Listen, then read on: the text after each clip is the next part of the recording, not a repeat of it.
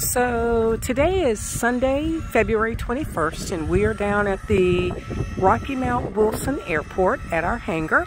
And you can see that Michael is uh, towing the airplane out of the hangar.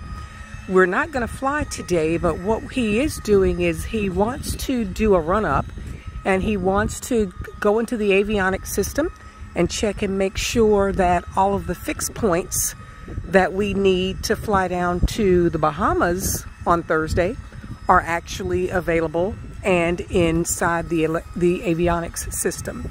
So we're going to sit down here in a minute. We're going to go into the cabin of this Cessna 414 and we are going to, or I should say he is going to check the avionics to make sure that the fix points are there for the Bahamas.